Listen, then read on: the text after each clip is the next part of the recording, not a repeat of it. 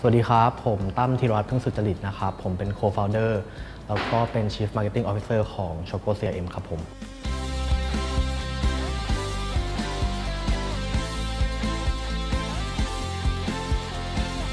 โชโก้ CRM นะครับเราทำมาประมาณ 6 ปีแล้วนะครับจุดเริ่มต้นของเราเนี่ยคือเกิดจากการเปลี่ยนแปลงของการทำ marketing สมัยใหม่เนี่ยจากการทำการตลาดแบบเข้าสู่การใช้ Data นะครับหรือว่าข้อมูลลูกค้าเนี่ยมาทำการตลาดแบบเฉพาะเจาะจงมากขึ้นครับ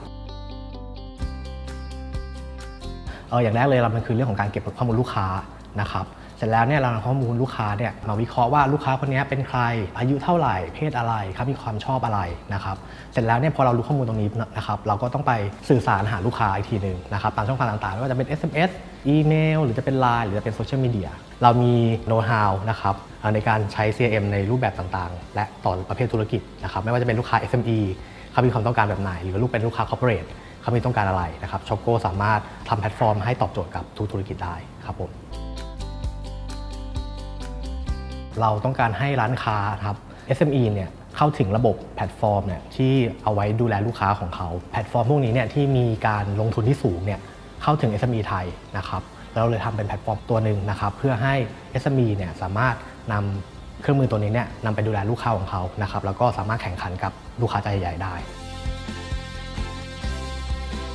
SME ถ้าสนใจนะครับให้ช็อกโกเข้าไปช่วยเนี่ยก็สามารถติดต่อได้ผ่านเว็บไซต์เรานะครับ www.chococrm.com ท่านใดที่เป็นเจ้าของธุรกิจนะครับต้องการที่จะดูแลลูกค้าประจำนะครับหาลูกค้าใหม่นะครับทำให้ลูกค้ากลับมาใช้บริการเรามากขึ้นเนี่ยสามารถปรึกษาช็อกโกได้นะครับ